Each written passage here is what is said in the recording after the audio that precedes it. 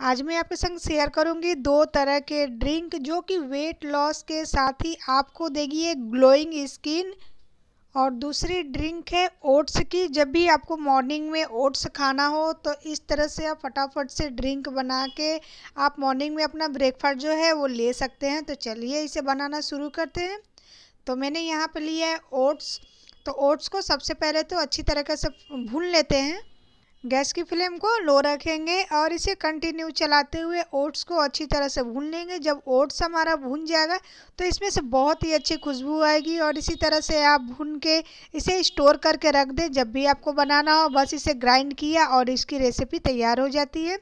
तो आपको अगर ड्रिंक बनानी है तो भुने हुए ओट्स को एक जार में डालेंगे। हाफ़, वन फोर्थ कप मैंने यहाँ पर लिया है ओट्स, उसी के साथ मैंने वन बनाना लिया है। और उसी के साथ इसमें डालेंगे, बनाना डालने के साथ ही इसमें जाएगा। इसमें दालचीनी का पाउडर डालेंगे और उसी के साथ इसमें डालेंगे पानी वन गिलास के आसपास। और इसी के साथ इसमें डालेंगे हनी। तो हनी, अगर आप चाहें तो हनी की जगह आप दो डेट्स भी डाल सकते हैं। खजूर उसके सीड्स निकाल लें और उसे ऐसे में ऐड कर सकते हैं। आप चाहें तो इसमें आलमंड भी डाल सकते हैं और इसे ग्राइंड कर लेते हैं। तो ये हमारा जो मिक्सर है, वो रेडी हो चुका है। तो ये काफ़ी क्रीमी और थिक लग रहा है तो इसे एक ग्लास में डाल लेते हैं। और ये रेसिपी आपने देखा कि कितनी आसानी से फटाफट से बन के रेडी भी हो जाती है। इसके ऊपर मैं डालूँगी चिया सीड तो चिया सीड को मैंने दो घंटे पहले ही नॉर्मल पानी में भिगो के रख दिया था। तो ये अच्छी तरीके से फूल चुका है। तो इसमें ऐड कर देते हैं। और इसके बाद इसमें डालेंगे भुनी हुई मूंगफली जिसे मैंने बारीक चॉप कर लिया है।